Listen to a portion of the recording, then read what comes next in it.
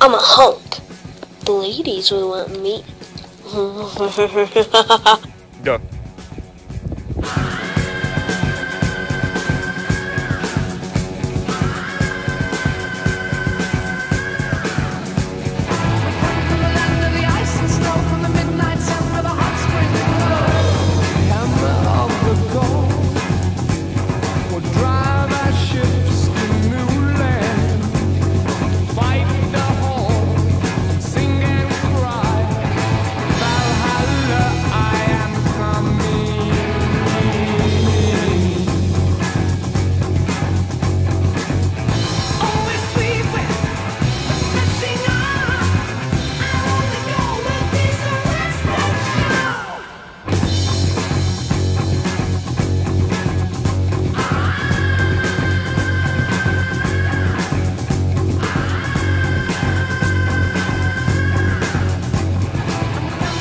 Medusa is a child of Phorkys and Ceto Keto, I don't know.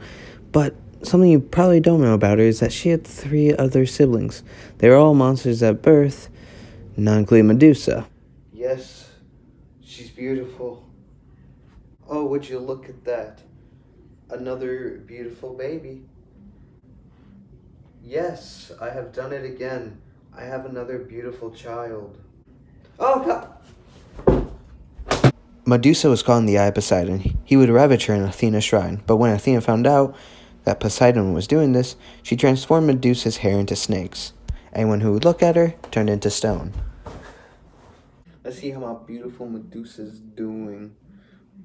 Oh no.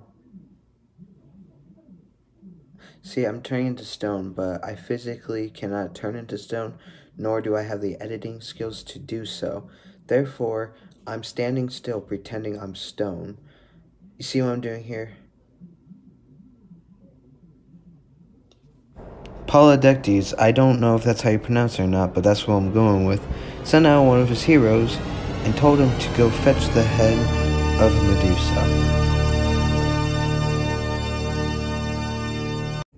Fetch me the head of Medusa.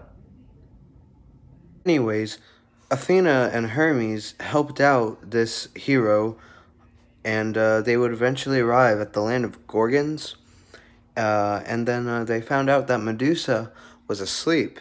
So uh, they they just you know they wanted to make sure he didn't turn to stone. So Pers Perseus that's I I'm butchering these pronunciations. I apologize, but Perseus if that's how you pronounce it, that's the hero by the way. I forgot to mention that. That's my fault uh, would uh, use the reflection of uh, Athena's shield so uh, he wouldn't have to look at the eyes of Medusa. Hey, where are you going? The dog just walked out. He got scared. So, you know, he wouldn't, you know, turn to stone. So, um, he would cut off her head, and then every drop of blood would turn into a serpent.